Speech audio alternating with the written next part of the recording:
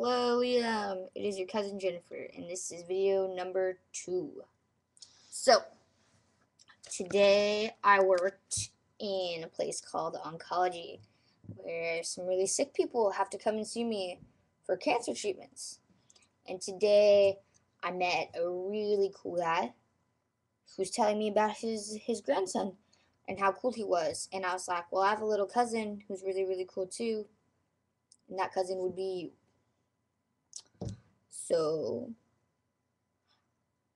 I guess I should probably tell you a story now and shine down my eternal wisdom and bestow it upon to you. However, I don't really have that much wisdom because I'm only 19. Your mom, however, has, you know, a couple years on me, so her wisdom is, you know, added up over the years. And she now is a well of good wisdom. And you should always listen to what she says.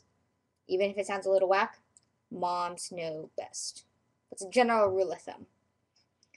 So that was some wisdom that I passed down, that moms know everything. So my second piece of wisdom is um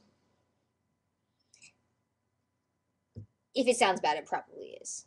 Um, for instance, today, if it sounds bad, like, let's see, you probably shouldn't do it.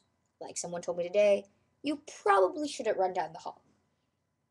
Okay, whatever. And then I tripped. Ow. On my new tattoo. Ow. See? Moral of the story. If it sounds bad, you shouldn't do it. It's cousinly wisdom. Video number two. Kerfoot out. I love you.